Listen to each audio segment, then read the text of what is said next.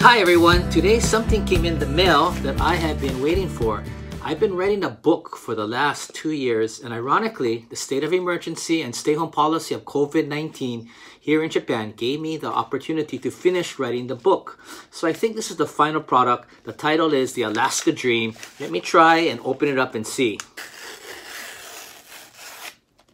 Let's see, kind of an exciting time.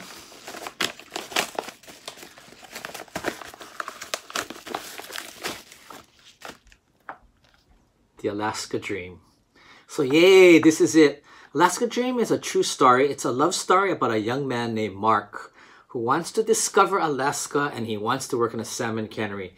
So Mark enters the cannery world of immigrant worker communities. He struggles with working for the Japanese salmon egg room bosses and he deals with intercultural and identity challenges.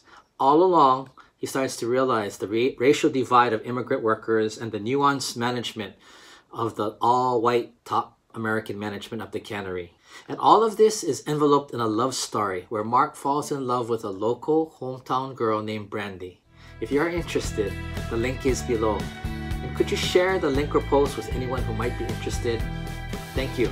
Really appreciate it.